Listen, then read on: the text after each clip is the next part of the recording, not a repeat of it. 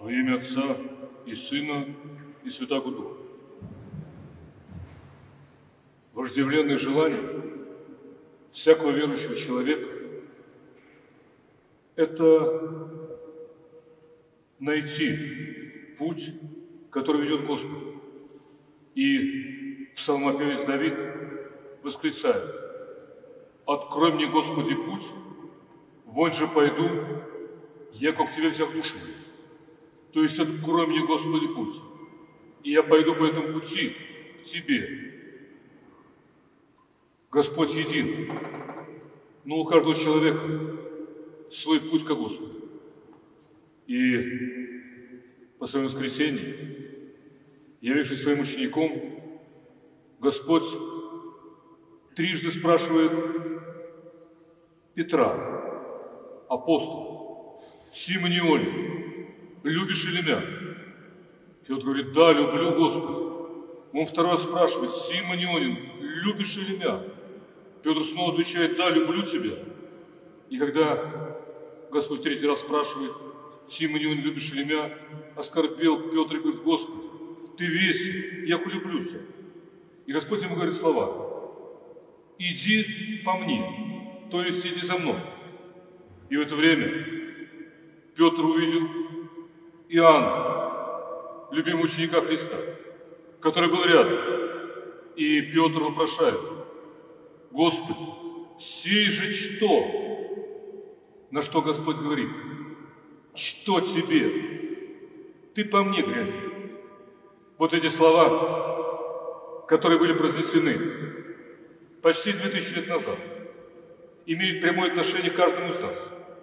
Потому что в человеке живет зависть, живет ревность, живет недобрые чувства по отношению к ближним.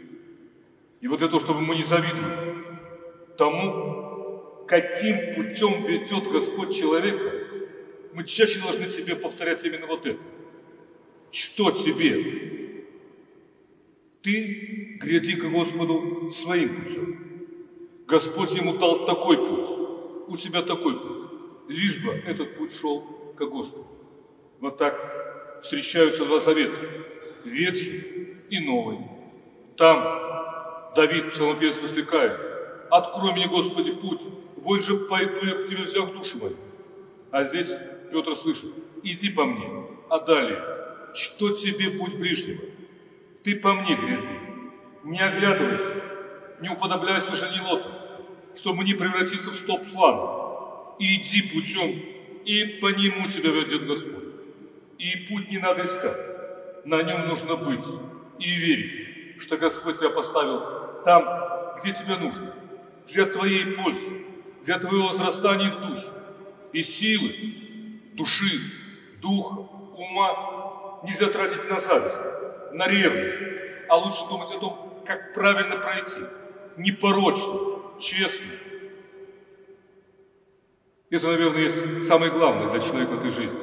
Идти тем путем, который открыт Господу каждому из нас. И не завидовать тем, кто идет рядом или вдалеке.